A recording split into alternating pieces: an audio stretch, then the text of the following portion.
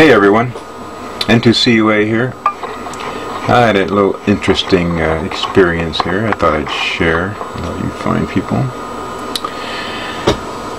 Um, was playing with my, uh, actually, I was playing with making um, RF attenuators, right? Trying to get one reasonably flat. Actually, I got one that would go up to, all the way up to the uh, top of the 2 meters with about 1 dB of uh, difference between you know, like one megahertz and two meters. Not bad. It's hard to do, really. I'm still experimenting. I'm learning, trying to figure that out. Anyway, I can try to get this over here and show you really quick. It's kind of an open, an open one, I guess. But here's what it is, and um, so that's the one I'm playing with. It actually does pretty well. Um, but then I ran into another interesting little deal. I'm like, wow, what the heck's going on here? So I'm going to share that with you just for fun, okay? So right now, Oh, let me show you the XG3 too. I've showed you this before in the other videos. This is the XG3 signal source. Yeah, kind of reflections there. Sorry about that. Um, so it's got preset frequency. Well, okay, preset levels, but you can adjust the frequencies with software on the PC. Um, for each of the different bands, um, 160 meters through 2 meters, and you can actually go above that if you want to deal with the harmonic system. Um, not a perfect sine, not even really a sine wave. It has a lot of harmonic content.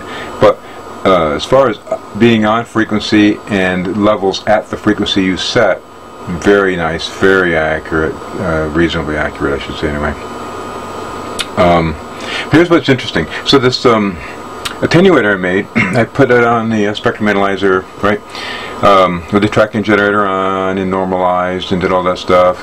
Ran a sweep, and like I said, I mean it can go up to about 200 megahertz before it hits like a 3 dB point. So if you want to consider that the bandpass, fine. That's not bad. That's better than I've done so far. Um, still playing with. Oh, and that brings me to another question.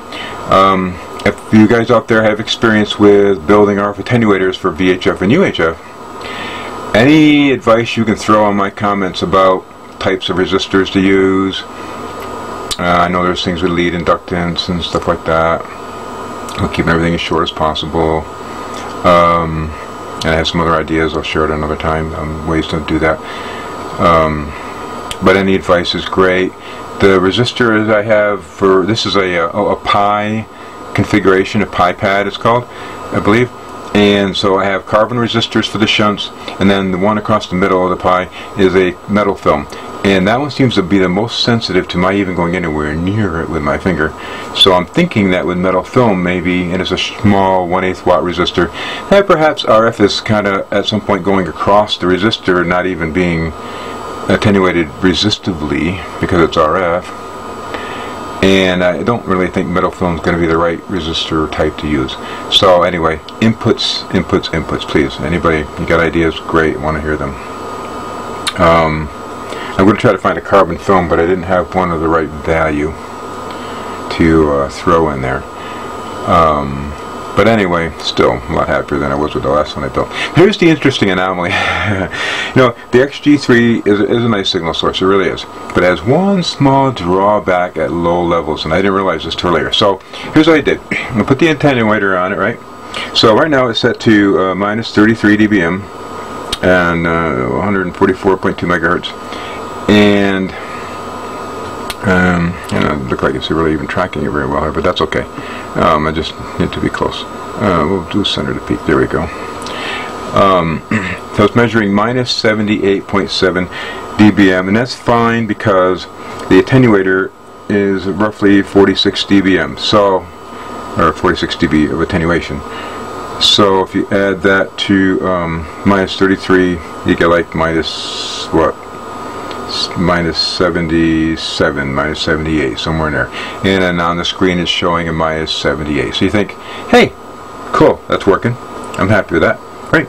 And then I go, okay, so let's take it to the next level. So I drop the level on the XG3 down to minus 73 dBm. And I look at the screen, I go, well, I'll think about it. Okay, so minus 73, you get minus 46, you get like minus 119. Um, but uh, I'm not getting minus 119. What the heck's going on here?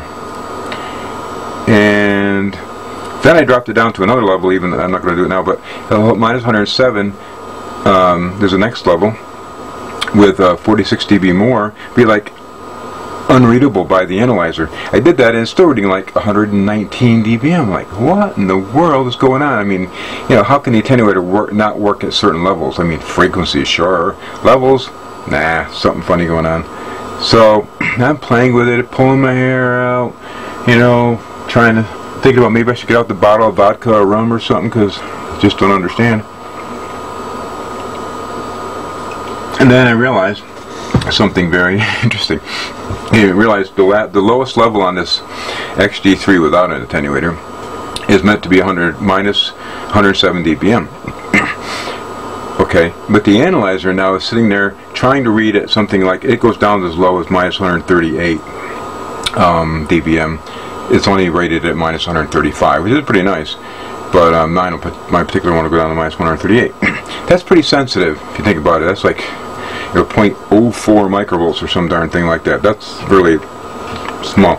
And then here's what dawned on me. You'll love this. You're really gonna love this. Um, it's a plastic case. so, um, in fact, you get, I don't know if you can tell, but that's actually moving around just by me handling the case. So what I did is I actually moved it halfway across the darn room, it still wasn't reading right. So I moved it more across the room, but then I wrapped it in aluminum foil and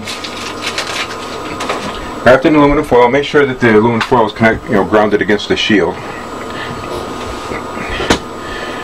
And then, now all of a sudden, it's down to minus 106. And I believe, let me move this attenuator down on the floor also. Not sure how much of an effect that's having. Oh, it's having more of an effect down there. Because it's not shielded yet either, so alrighty. So it could be radiating a little bit there. So I got my hand wrapped around it to just kind of help shield it. So now it's reading like a minus 118 somewhere in there, where it should be. Isn't that something? I like pulling my freaking hair out, and it's because the analyzer analyzer is so darn sensitive to uh, the signals it's receiving. Evidently, not even necessarily all through the coax. I'm not sure about that, but um, that it's picking up emissions from the XG3 through the plastic case. You know, five feet from the analyzer, and probably from the um, RF attenuator because it's open right now. I've got like I said, I have my hand wrapped around it, but I don't have any aluminum foil in there to put around it. Anyway, I just thought it was interesting that, you know, because the analyzer is so sensitive to uh, these weak signals that you really have to be careful about that kind of thing, you know. Um, it, to pick up, you know, it from other sources other than, you know, the cable, through the cable. It's getting it through the air or whatever. So, it's just found that uh, I found that rather fascinating, and I think too uh, when you're using it to check like a handbrake or something, and you know you've got it right near the rig and you've got a coax hooked to the antenna jack on the rig. Well you know and it's near the rig. How much of that energy is coming out of that the XG3 through the case and being picked up by the rig not via the coax. So if you're going to use it, what I would suggest, um, I mean, if you have the equipment like the analyzer here, you could always, you know, put a, a 50 foot cable on it or something, and then um, measure the level with the analyzer so you kind of know what you're dealing with, figure out how many microvolts and all that, and then um, feed it through that coax to the uh, rig so that it's a really long distance away from the uh, the rig to get an accurate indication whether it's you know working well and if the rig is as sensitive as you think it should be, blah blah blah. So, so I ran into that before too with them. Um, I was using an attenuator I have another attenuator. I think it's minus 30 dBm. That one's really accurate actually. And I had that with the XG3, and it's still. I'm thinking that it should almost be unreadable at minus 107 plus 30 is like 137. The rig should be going. I can't hear that. Yet it seemed like it was, and I was so confused about that. But now I know why, because you know, again, the signal is going through the case and probably getting picked up by the receiver connections inside the radio, whatever. Um, other than through the coax. So anyway, just thought I'd share that, and I haven't done a video in a while, so there you go. And uh, I hope Al W2AEW watches this and pipes up and's like, yeah, be careful what resistors you use or whatever. That'd be great. Catch y'all later.